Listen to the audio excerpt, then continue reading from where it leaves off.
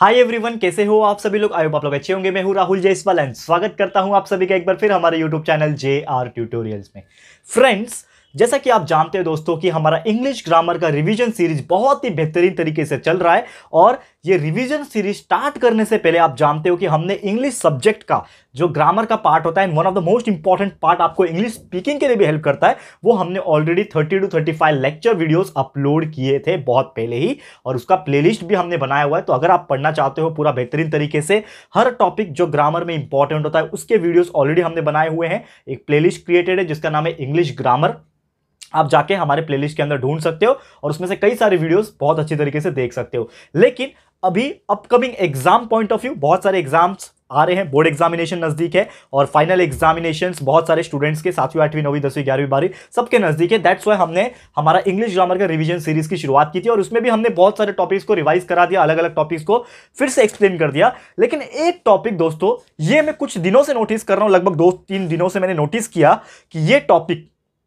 बार बार लोग मुझे कमेंट कर रहे हैं सर, ये जो टॉपिक है ना, इसके ऊपर प्लीज़ एक वीडियो बना दो एंड डेफिनेटली आप लोग कुछ डिमांड करोगे और मैं पूरा नहीं करूँगा, ऐसा हो नहीं सकता। तो डेफिनेटली मैं वो टॉपिक लेके आपके सामने लेकर आ गया हूँ हमारे इंग्लिश ग्रामर रिवीजन सीरीज़ का पहली बार हमारे चैनल पे डायरेक्ट एंड इनडायरेक्ट स्पीच का बेहतरीन वीडियो इतना मैं दावे के साथ कह सकता हूँ कि आज का वीडियो, जो भी इंसान पूरा देख लेगा, जो भी व्यक्ति देख लेगा, उसको लाइफ में कभी डायरेक्ट और इनडायरेक्ट के बीच में कंफ्यूजन नहीं होगा। डायरेक्ट स्पीच क्या होता है, वो बताऊँगा। इनडायरेक्ट स्पीच क्या होता है, वो भी बताऊँगा। और किस प्रकार आप डायरेक्ट स्पीच को इनडायरेक्ट स्पीच में कन्वर्ट कर सकते हो, वो भी बताऊँगा। तो ये वीडियो आपके लिए बहुत बेनिफिशियल होने वाला है। तो आइए, शुरुआत करते हैं और एक एक की बाल की खाल निकालेंगे हम लोग, ठीक है? चलिए, आ जाते हैं टॉपिक पे।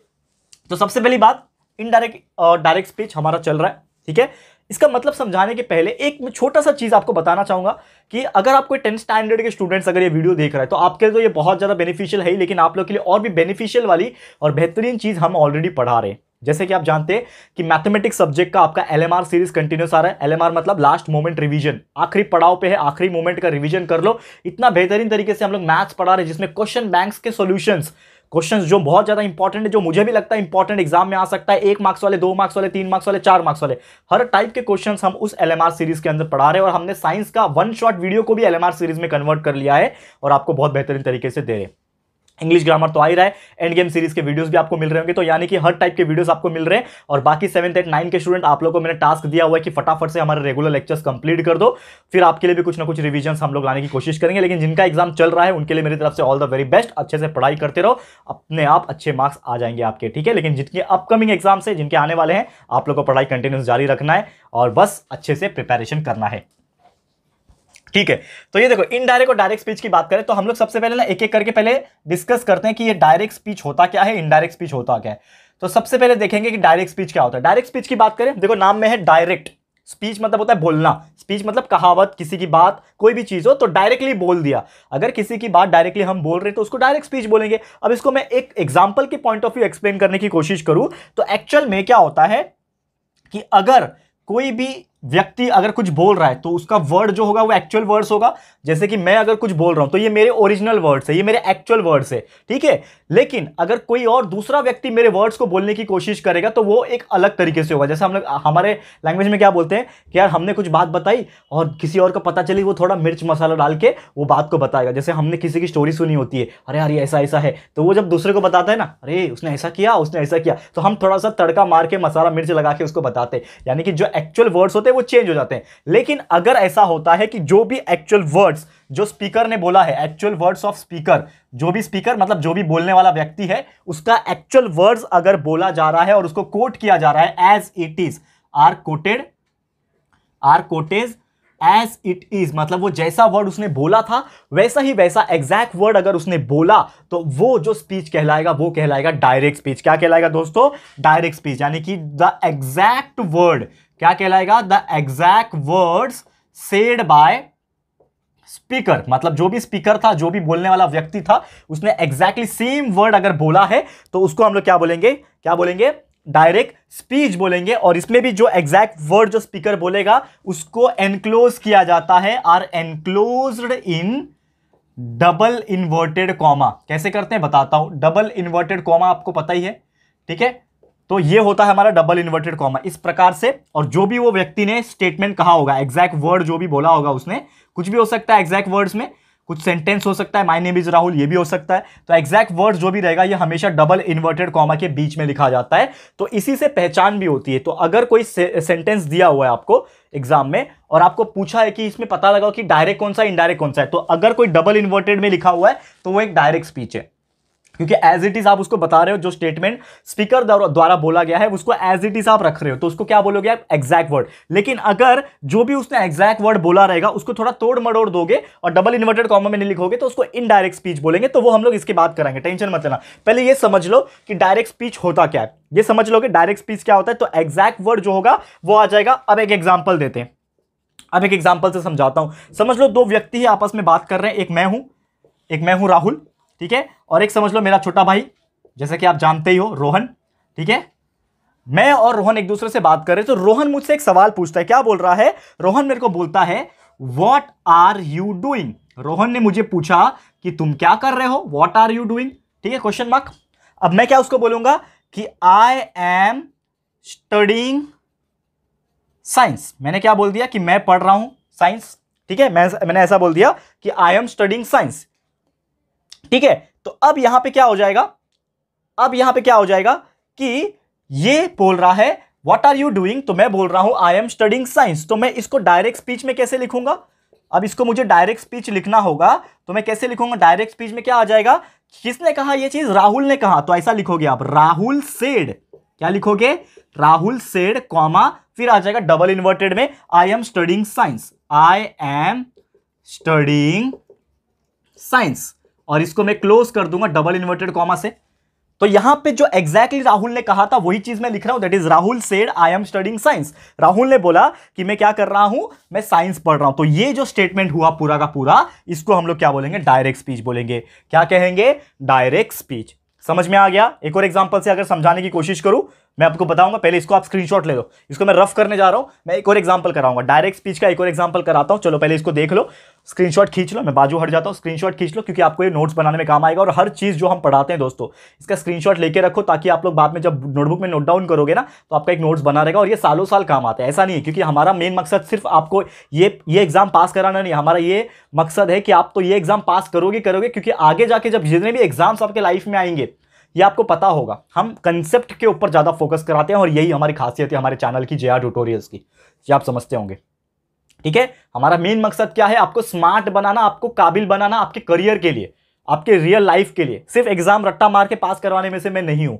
ठीक है, आप जानते हो मेरे बारे में। दो साल से यूट्यूब पे हूँ लॉकडाउन के समय कोई नहीं था, मैं खड़ा था, ठीक है? तो इसीलिए हम आए ताकि मैं अपने पास जो कंसेप्ट रखता हूँ, जो मैं सीख रहा हूँ, जो मैं सिखाता हूँ और जो मैंने सीखा हुआ है, वो सब आपको मैं दे दूँ यहाँ पे, वो भी फ्री ऑफ़ कॉस्ट यही मेरा मकसद है दोस्तों लाइफ का, ठीक है? तो ये आप लोग ने लिख लिया होगा। अब मैं इसको थोड़ा सा रफ करके एक और एग्ज़ाम्पल मुझे कराना है, हमारे डायरेक्ट स्पीच का, वो मैं कराता हूँ, ठीक है? अब मैं ये डेफिनेशन को रफ कर लेता हूँ, ठीक है? यहाँ पे डेफिनेशन जो आपने लिखा होगा, ये मैं रफ कर लेता हूँ, क्योंकि यहाँ पे मैं एक और एग्ज़ाम्पल आपको मैं कराऊँगा। देखो ध्यान से। समझ लो मेरे पास एक और एग्ज़ाम्पल है। अब फिर से मैं ले रहा हूँ, वही आदमी राहुल लेता हूँ मैं, ठीक है? आप चेंज कर सकते हो नाम, जो भी आपको अच्छा लगे, लेकिन मैं फिर भी हमारा भाईचारा राहुल एंड रोहन, ठीक है? अब राहुल एंड रोहन है, ठीक है? अब यहाँ पे रोहन आपको पूछ रहा है कि what are you playing today ठीक है? What are you playing today? मतलब मेरे को पूछ रहा है कि तुम आज क्या खेल रहे हो? जैसे बहुत सारे गेम्स अलग अलग लोग खेलते हैं तो मुझे पूछ रहा है what are you playing today क्या खेल रहे हो आज तुम? तो मैं बोलूँगा कि आई एम प्लेइंग क्रिकेट मैं क्या बोल रहा हूँ उसको?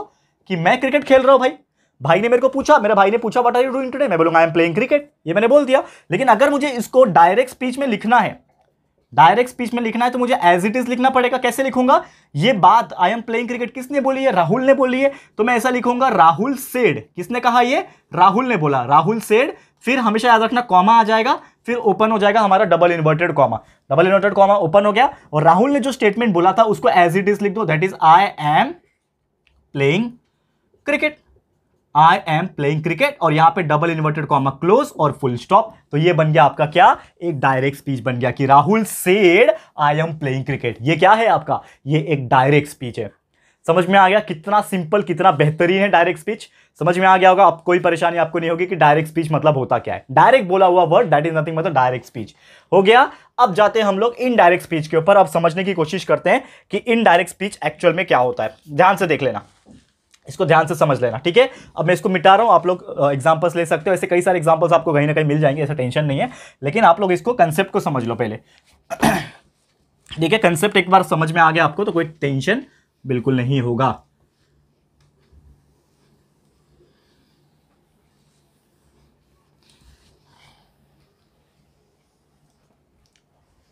चलो, क्या है?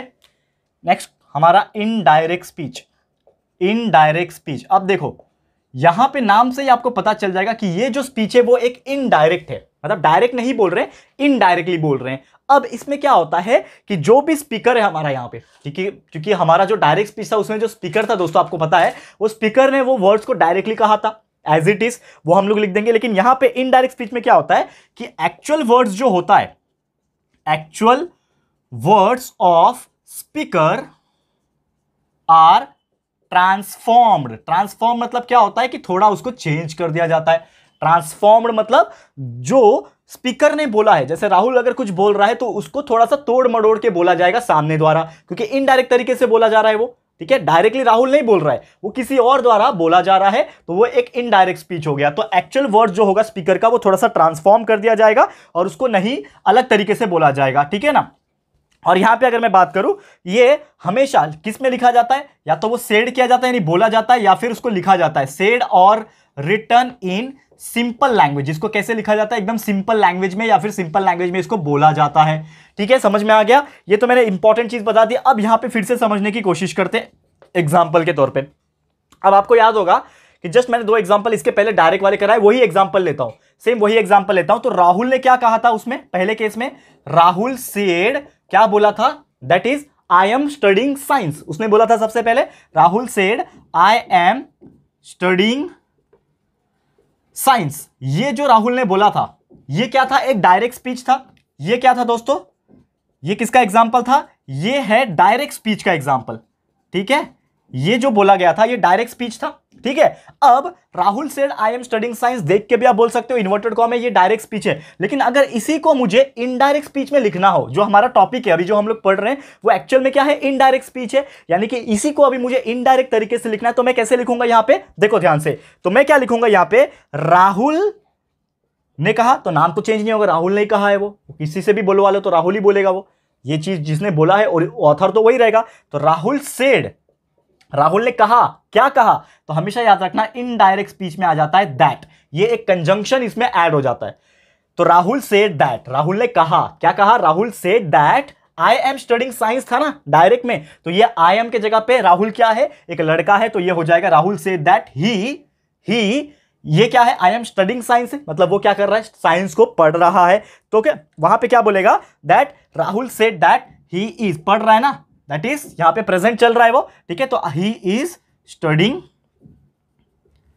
science Rahul said that he is studying science, ये हो गया। अब यहाँ पे आप देखोगे, यहाँ पे फुल स्टॉप डालना ज़रूर। यहाँ पे आप देखोगे, ना तो एक भी इन्वर्टेड कॉमा है, ना तो जो राहुल ने एक्चुअल में कहा था आई एम स्टडिंग साइंस ये जो वर्ड था आई एम स्टडिंग साइंस ये कहीं दिख रहा है आपको? आई एम स्टडिंग साइंस लिखा हुआ? नहीं। मतलब जो एक्चुअल में राहुल ने कहा था आई एम स्टडिंग साइंस वो एक्चुअल में इनडायरेक्ट स्पीच में नहीं बोला जाता है, उसको थोड़ा सा चेंज करके बोला जाता है, लेकिन मीनिंग चेंज नहीं होता है। क्या बोला है इसमें? Rahul said that he is studying science Rahul ने बोला कि वो साइंस पढ़ रहा है, और ये भी वही बोल रहा है कि मैं साइंस पढ़ रहा हूँ, लेकिन ये राहुल यहाँ पे खुद बोल रहा है, यहाँ पे कोई और अलग तरीके से बोल रहा है, इसीलिए इसको बोलते हैं दोस्तों इनडायरेक्ट स्पीच क्या कहते हैं इसको? इनडायरेक्ट स्पीच तो ये किसका एग्ज़ाम्पल हो गया? इनडायरेक्ट स्पीच का, और आपने कन्वर्ट भी कर दिया एक डायरेक्ट स्पीच को इनडायरेक्ट स्पीच में। समझ में आ गया? क्लियर है? बहुत सिंपल है। चलो वन मोर एग्ज़ाम्पल एक और हमने पढ़ा था एग्ज़ाम्पल में, एक और एग्ज़ाम्पल अभी अभी हमने देखा था डायरेक्ट वाले केस में। क्या पढ़ा था? कि राहुल जो था, उसने क्या कहा था? राहुल सेड। राहुल ने क्या कहा था?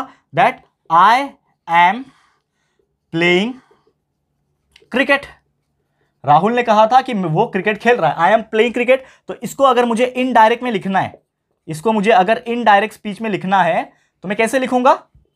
राहुल सेड दैट क्या आ जाएगा यहाँ पे? राहुल सेड दैट आ जाएगा। That I am playing cricket मतलब राहुल लड़का है तो यहाँ पे आ जाएगा that he is playing cricket कितना सिंपल है यार, आप ही खुद देख लो यार, बस। तो कैसे पहचानोगे डायरेक्ट को? डबल इन्वर्टेड कॉमा से। यहाँ पे डैट रहेगा। Rahul said that she said that that जब भी आ गया तो ये इनडायरेक्ट स्पीच है और आगे का जो वर्ड होता है, वो अलग हो जाता है, क्योंकि यहाँ पे प्रोनाउन यूज़ किया जाता है। यहाँ पे क्या था? राहुल था नाउन था, यहाँ पे प्रोनाउन यूज़ किया जा रहा है and he is playing cricket ऐसा बताया जा रहा है, ठीक है? तो इस तरीके से आप बोल सकते हो कि आप डायरेक्ट और इनडायरेक्ट स्पीच को कन्वर्ट कर सकते हो। तो समझ में आ गया होगा आपको, आपको डायरेक्ट स्पीच क्या होता है उसके एग्जांपल्स इनडायरेक्ट स्पीच क्या होता है उसके एग्जांपल्स ठीक है? कन्वर्ट करना भी आपने सिखा दिया। अब दो एग्जांपल जो एक्चुअल में एग्ज़ाम पॉइंट ऑफ़ व्यू पूछे जा सकते हैं। ये तो आपको एक्सप्लेन करने के लिए सिंपल एग्ज़ाम्पल थे। इतने सिंपल एग्ज़ाम्पल भी एग्ज़ाम में नहीं पूछते। हो सकता है आ जाए। अगर आपकी नसीब अच्छी है या फिर पेपर बहुत ईजी बना रहे हैं तो ऐसे ही एग्ज़ाम्पल आ जाएँगे। लेकिन थोड़ा सा हम लोग मीडियम लेवल का एग्ज़ाम्पल लेके आते हैं आपको एक्सप्लेन करते हैं ठीक है? बस इसको मिटा रहा बस पाँच मिनट हमारे साथ बने रहना, आपको दो एग्जांपल एक्सप्लेन करूँगा प्रॉपर तरीके से डायरेक्ट और इनडायरेक्ट में कन्वर्ट करके दिखाऊँगा, ठीक है? तो ध्यान से देख लेना लास्ट का टॉपिक हमारा चल रहा है, ठीक है? चलो, ध्यान लगा के लास्ट में। ओके इसको रफ कर लेता हूँ अभी मैं।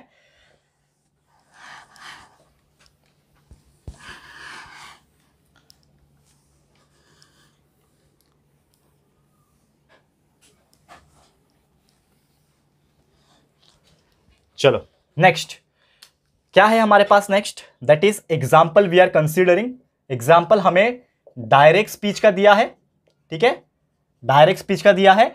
हमें इसको कन्वर्ट करना है। क्या करना है दोस्तों? कन्वर्ट करना है। किसमें कन्वर्ट कर रहा है?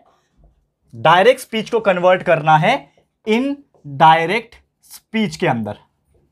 डायरेक्ट स्पीच को कन्वर्ट करना है इन डायरेक्ट स्पीच के अंदर पहला एग्ज़ाम्पल मैं देने जा रहा हूँ। तो पहला एग्ज़ाम्पल हमें क्या बोला है? देखो ध्यान से, मैं एकदम अच्छी तरीके से आपको करा रहा हूँ। क्या बोला है पहला एग्ज़ाम्पल यहाँ पे बोला है राहुल सेड रोहन। देखो, ऐसे एग्ज़ाम्पल एग्ज़ाम्स में पूछते हैं। क्या? अभी नाम तो मैं अपना ले रहा हूँ, लेकिन एग्ज़ाम में नाम बहुत डिफरेंट आते हैं। बहुत अलग अलग अलेक्जेंडर ये सब अलग अलग अंग्रेज़ लोग के नाम आते हैं। ठीक है? तो समझ लेना। मैं आपको इजी नाम से एक्सप्लेन कर रहा हूँ। तो राहुल सेठ रोहन। क्या कहा उसने? Rahul said Rohan I started a new YouTube channel ठीक है? I started a new, I started a new YouTube channel ठीक है? और यस एक्चुअल में स्टार्ट किया है मैंने एक नया यूट्यूब चैनल अगर आप जानते हो तो अच्छी बात है, नहीं जानते तो आपको मैं बता देता हूँ यहाँ पे कि राहुल, कौन है? राहुल सर ही है ना आपके? तो राहुल सर ने आपके लिए एक नया यूट्यूब चैनल स्टार्ट किया है, उसका नाम है दोस्तों जे आर ट्यूटोरियल्स ये तो आप देख ही रहे हो। जे आर ट्यूटोरियल्स देख ही रहे हो, लेकिन जे आर ट्यूटोरियल्स का एक और चैनल है जिसका नाम है दोस्तों J R tutorials national study ये बहुत ही बेहतरीन चैनल है स्पेशली जो बच्चा कंसेप्ट सीखना चाहता है अलग अलग साइंस और एनसीईआरटी लेवल के। और आपको मैंने बताया था, अगर आपका ड्रीम एक यूपीएससी एग्ज़ाम को क्लियर करना है आईएएस आईपीएस इस प्रकार के कलेक्टर बनना है तो आपके लिए एनसीईआरटी सब्जेक्ट बहुत ज़्यादा ज़रूरी है। एनसीईआरटी हर स्टैंडर्ड के लिए हम करा रहे हैं। अभी फ़िलहाल में हमारे पास सातवीं, आठवीं नाइन्थ एंड टेंथ इसके साइंस के वीडियो और मैथमेटिक्स के वीडियो इस चैनल पे जा रहे हैं। तो अगर अभी तक जिन्होंने भी हमारे ये चैनल को सब्सक्राइब नहीं किया और विज़िट नहीं किया तो सबसे पहले विज़िट करना बहुत अलग तरीके से पढ़ाया जा रहा है इसमें। मज़ा आ जाएगा आपको। तो जाके चैनल को विज़िट करना और सबसे पहला वीडियो देखना। जाके स्क्रोल करना स्क्रोल करना स्क्रोल करना और सबसे पहला वीडियो देखना जो मैंने खुद पढ़ाया हुआ है और आपको मज़ा आएगा पढ़ के। और अगर किसी ने चैनल को सब्सक्राइब नहीं किया तो फटाफट से आपको मैं एक एक टास्क दे रहा हूँ। हमारे चैनल को सब्सक्राइब करना। छोटा सा प्रमोशन कर रहा हूँ, बस और कुछ नहीं, मेरा ही चैनल है दोस्तों। तो प्लीज़ विज़िट कर लेना चैनल को सब्सक्राइब कर देना। कहाँ से करोगे? या तो Jaya tutorial national study search कर लेना यूट्यूब पे, या फिर हमारा जो जया ट्यूटोरियल चैनल है, उसके चैनल के सेक्शन में चले जाना। आपको पता है ना? पहला सेक्शन होम होता है होम के बाद वीडियोज़ वीडियोज़ के बाद प्ले लिस्ट के बाद एक कम्युनिटी आता है कम्युनिटी के बाद आपका एक चैनल का सेक्शन आता है तो वो चैनल के सेक्शन में जाओगे तो हमारे सब चैनल दिखेंगे। तो जिन्होंने भी हमारे बाकी चैनल्स को सब्सक्राइब नहीं किया, जाके विज़िट कर लेना चैनल को सब्सक्राइब कर लेना, बस इतना ही बोलना चाहूँगा। And thank you so much for listening me ठीक है? चलो, वापस आते हैं टॉपिक पे। ये हो गया। चलो, ये तो प्रमोशन वाला काम कर दिया, इसको ज़रूर से कर देना। चलो, कोई बात नहीं, अब यहाँ पे इसको हम लोग कन्वर्ट कर रहे हैं। किसमें? ये आपका जो पूछा है, ये जो दिया है, वो डायरेक्ट स्पीच दिया है। अब उसको इनडायरेक्ट स्पीच में कैसे कन्वर्ट करेंगे? देखो ध्यान से। तो राहुल सेठ रोहन है ना राहुल सेड रोहन है तो यहाँ पे ये ये चीज़ें सेम रहेगी। That is Rahul said Rohan, ठीक है ना? राहुल जो है, वो रोहन को सेड करेगा, बोलेगा।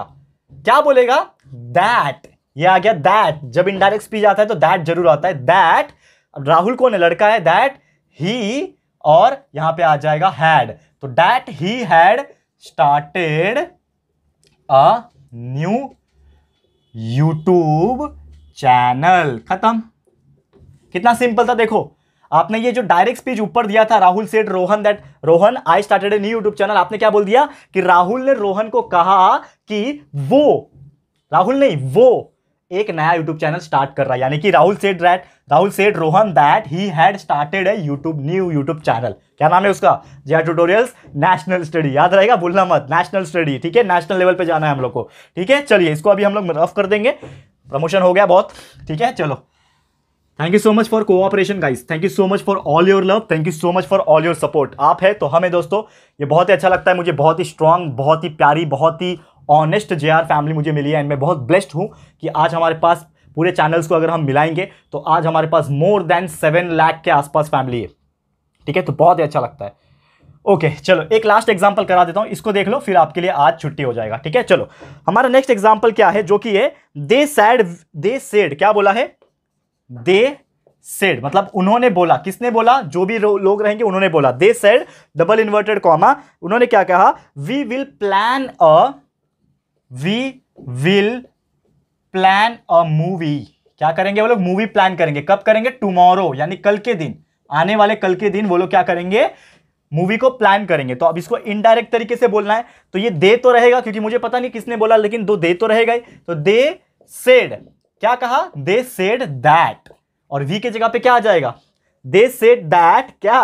देखो, ध्यान से देखना। दे सेड दैट वी के जगह पे हम लोग यूज़ करेंगे दे क्योंकि वही लोग है ना दे तो they said that they would will का क्या हो गया? वुड हो गया। यानी करेंगे ना तो विल का हो जाएगा would they would plan a movie tomorrow को क्या हो जाएगा? तो टुमारो नहीं लिखेंगे हम लोग यहाँ पे। इनडायरेक्ट तरीके से लिखना है तो टुमारो के लिए लिखेंगे हम लोग नेक्स्ट डे यानी कि they they said that they would plan a movie the next day या कल। नेक्स्ट डे को हम लोग कल को क्या बोलते हैं? आने वाले को कल को क्या बोलते हैं? नेक्स्ट डे तो मैंने बोला पहले इन पहले डायरेक्ट तरीके से क्या बोला? दे सेड मतलब उन्होंने बोला they said we will plan a movie tomorrow हाँ हम लोग कल पक्का मूवी प्लान करेंगे। तो कि, किसी और द्वारा ये बोला जा रहा है तो अब मैं क्या बोलूँगा? अरे उसने बोला था कि वो अगर आने वाले कल के दिन एक मूवी प्लान करेंगे। तो वही बोला मैंने। They said that they would plan a movie the next day समझ में आ गया? क्लियर दोस्तों तो उम्मीद करता हूँ कि आपको ये चीज़ बहुत बेहतरीन तरीके से समझ में आ गया होगा। एंड इसी तरीके से आपके एग्ज़ाम्स में क्वेश्चंस पूछे जाते हैं। आपको एक एक डायरेक्ट स्पीच दिया रहेगा और नीचे लिख के आएगा कन्वर्ट इनटू इनडायरेक्ट स्पीच एक मार्क्स के लिए या फिर दो मार्क्स के लिए आएगा। बहुत बेहतरीन, बहुत सिंपल ये अगर आ जाता है तो डेफिनेटली आप लोग कर लोगे और इतना गारंटी दे सकता हूँ कि आज जिसने ये चीज़ समझ लिया होगा, वो हमारे जो भी क्वेश्चन पूछे जाएँगे उसको सॉल्व कर सकता है। ठीक है? क्लियर है? तो बस आज के लिए इतना ही। Thank you so much guys for watching our video इतना ही है आज के लिए, लेकिन आपके लिए कई सारे वीडियोस कंटिन्यूसली आ रहे हैं। रेगुलर तरीके से पढ़ाई करते रहो, बस इतना ही बोलना चाहूँगा। जितना हो सके मेहनत करना, जितना हो सके पढ़ाई करते रहना। अपने माँ बाप के बारे में सोचना। कॉन्फिडेंस और मोटिवेशन अपने आप आ जाता है। मैं भी जब अपने लाइफ में लो फील करता हूँ तो मैं आप लोग के बारे में सोचता हूँ कि आप लोग के लिए मुझे कॉन्टेंट तैयार रखना है। आप लोग के लिए मुझे कुछ ऐसा काम करना है कि आप लोग को मैं एक लेवल पर लेके जा सकूँ। आपके बारे में सोचता हूँ, दूसरा मेरी फैमिली के बारे में सोचता हूँ। लाइफ में कभी भी परेशानियाँ हो टेंशन हो, स्ट्रेस हो, इन दो व्यक्तियों के बारे में सोचना। मतलब आप तो किसी और के बारे में सोचना, मैं तो आपके बारे में सोचता हूँ, मेरी फैमिली के बारे में सोचता हूँ। मेरे अलावा इन लोगों के अलावा, मेरी फैमिली और आप लोग के अलावा मेरा कोई नहीं है। तो आप लोग बस इतना ही मैं आपसे एक रिक्वेस्ट करना चाहूँगा तो प्लीज़ हमें सपोर्ट करो। जितना हो सके सपोर्ट करोगे तो मुझे अच्छा लगेगा, एंड हमारे वीडियोस को जितना हो सके शेयर करो बाकी लोगों के साथ, क्योंकि मेरा एक ड्रीम था महाराष्ट्र में रिवॉल्यूशन लाने का और छोटे बच्चों को लेके, क्योंकि यार कोई नहीं सोचता आपके बारे में, छोटे बच्चों के बारे में, जो सातवीं में है, आठवीं में, नौवीं में, मैंने तो फिफ्थ और सिक्स भी स्टार्ट किया था। लेकिन क्या हुआ ड्यू टू सम सर्कमस्टांसेस कि हम टाइम मैनेज नहीं कर पाए, क्योंकि मैं अकेला पढ़ाता हूँ। दैट्स वाई हम चीज़ें नहीं दे पाई, लेकिन आपको वादा कर रहा हूँ, या आने वाला जो टाइम चल रहा है, इसमें आपको पांचवीं और छठवीं के वीडियोस देखने मिलेंगे। सातवीं, आठवीं, नौवीं, दसवीं के वीडियोस ऑलरेडी है इलेवंथ के भी है ट्वेल्थ का न्यू स्टार्ट करेंगे साइंस का भी आएगा कॉमर्स का भी आएगा, हर चीज़ आएगा। तो हमारे चैनल पर बस बने रहना और हमारे चैनल को एक नई ऊंचाई पर लेके जाना। तो यही आपसे मैं रिक्वेस्ट करना चाहूँगा। तो उम्मीद करता हूँ कि आप हमें इस मुहिम में हमारा जो एक रिवॉल्यूशन लाने का जो सपना है, ज़रूर से आप हेल्प करोगे। ठीक है? तो बस इतना ही बोलना चाहूँगा। थैंक यू सो मच आज के लिए और हमारे आने वाले टाइम के लिए भी. थैंक यू सो मच बस बने रहना, हमारे साथ प्यार दिखाते रहना. वीडियो कैसा लगा है? प्लीज़ कमेंट करना. वीडियो पसंद आया अच्छा लगा दोस्तों तो प्लीज़ वीडियो को लाइक कर देना. शेयर ज़रूर से करना अपने सारे फ्रेंड्स रिलेटिव दोस्तों के साथ शेयर कर देना. फ़र्स्ट टाइम हमारे चैनल पर आए हो, अगर हमारे चैनल को अभी तक सब्सक्राइब नहीं किया ना तो फटाफट से हमारे चैनल को सब्सक्राइब ज़रूर से कर देना. ठीक है दोस्तों? तो जल्दी मिलेंगे हमारे न्यू वीडियो में. तब तक के लिए thank you and good bye